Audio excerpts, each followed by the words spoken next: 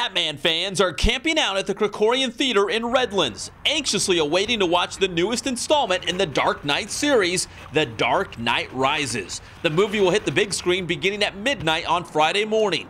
This group of guys from Yucaipa are first in line in Redlands to see the movie. They've been camping out since Tuesday night to be the first ones inside the theater. A lot of years, it just seems like um, if there are people in front of you in line, even if you're second or third in line, uh, by the time it gets to be the day of the premiere, they have 30 or 40 people come, and all of a sudden you went from fourth in line to 200th in line. So we wanted to make sure we could avoid that.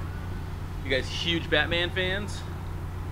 Pretty big. I wouldn't say the biggest, but we love it. I'm Pep Fernandez for the Press Enterprise and PE.com.